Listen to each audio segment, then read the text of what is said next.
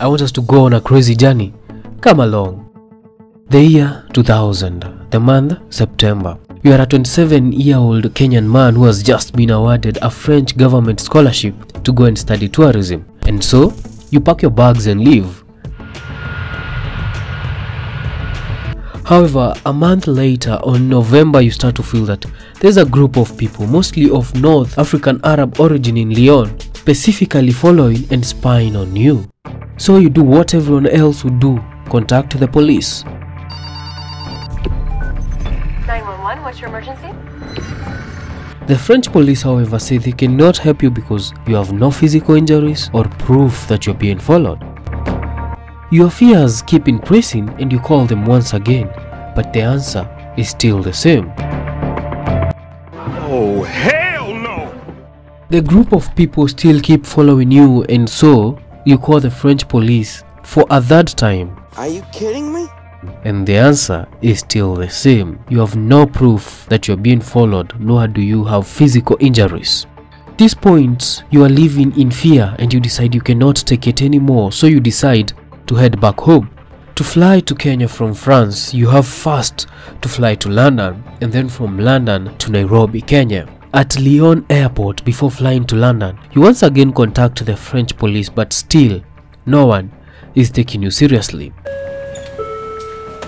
This announcement is for customers to London Gatwick.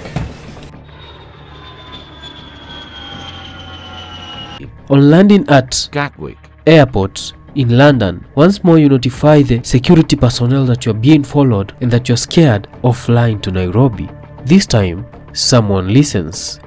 You are given a security escort to the aircraft and told the safest place you can be is in the aircraft. And for a moment, your worries are gone. Well, that wouldn't be for long because a few hours into the flight, the people seated in front of you and behind you start to threaten that they will kill you. I will look for you. I will find you. And I will kill you.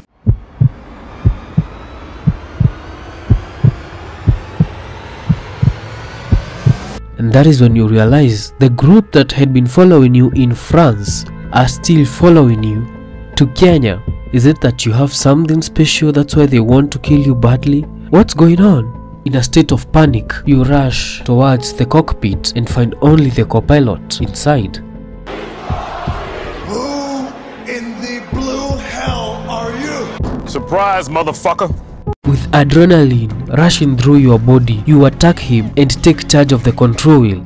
This disconnects the autopilot, causing the aircraft to climb sharply and stall from 42,000 feet, that is 13,000 meters, and plunge towards the ground at 30,000 feet. You have only one thing in your mind right now to crash the plane and end this once and for all. The co-pilot is still wrestling with you for controls and the struggle is joined by the captain. But still, they can't take you off the control wheel. Suddenly, a 6 foot 7 inch man who was in the company of another man entered the cockpit. Whatever game you're playing, it won't work. You can't defeat me. No, I know. But he can. No. The men are not in cabin uniform. Is he here to kill you? The man tackles you to the ground.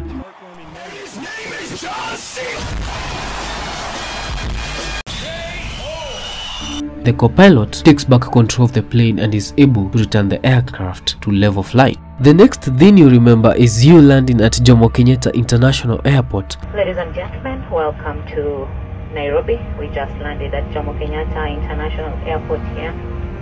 and the Kenyan police are at the airport. Maybe the police are here for the men who want you dead? Nope, they are here for you. The press, the passengers, they are all calling you a hijacker. But the group of men who want you dead are missing. So what's going on here? The story I gave you was from Paul's eye. Let's see the same story from a different perspective.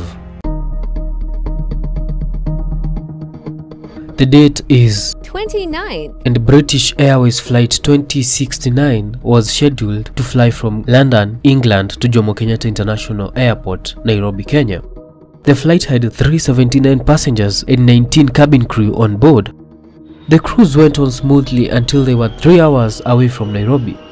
At around 5 am when the flight was flying over Sudan airspace, both the captain, Hagan, and the first officer, Richard, went for a rest, leaving only the co-pilot inside the cockpit.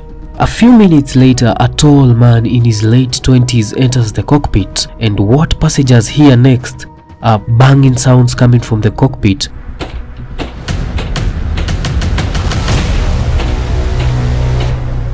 and before you know it, the plane shot up to 42,000 feet before plummeting to 19,000 feet. It felt like a turbulence but with this horrible noise, one passenger described. The cabin crew then rushed inside the cockpit only to meet the intruder had attacked the co-pilot and disconnected the autopilot. All we could see was the intruder's feet as they came out of the door and people were screaming. This woke Bynum, who was traveling with his friend Gifford Shaw.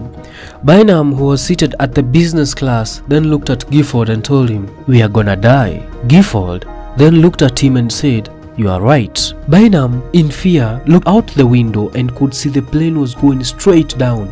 It was at that point he knew he had to do something. So he got up and rushed to the cockpit. Gifford followed.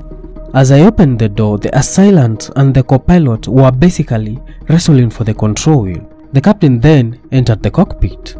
By this time, a couple of others had come in and helped him get out of the control wheel. Fortunately, I was able to get my arms around his neck and shoulder and got him to the ground. Boy, that escalated quickly. I mean, that really got out of hand fast. It jumped up a notch. It did, didn't it? Flight attendants then handcuffed him. During the two minute struggle, the intruder beat the captain's ear and finger. The assailant, however, did not respond to the questions and kept murmuring about having a companion even though he was traveling alone. Two hours later, the plane landed safely in Nairobi. You're gonna do superhero landing. Wait for it. Superhero landing. and only four passengers had minor injuries and one cabin crew had broken an ankle. The flight had survived two violent nosedives over Sudan. altitude of 37,000 feet and our airspeed is 400 miles an hour. After landing in Nairobi, Paul Mukonyi was immediately transferred to the authorities. You're under arrest. So was Paul just making up stories to cover up his attempt to crash the plane?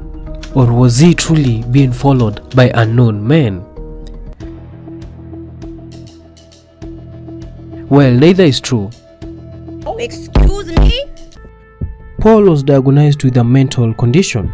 Kenyan police spokesman at the time, Dola Indidis, said the man should not be treated like a criminal. Paul was taken into Nairobi Hospital, and according to Dr. Jenga, we are of the very firm belief from this story that at no point did our patient contemplate the hijacking or doing harm to anyone. All he remembers is somebody hit him on the back and somebody put a finger in his eye.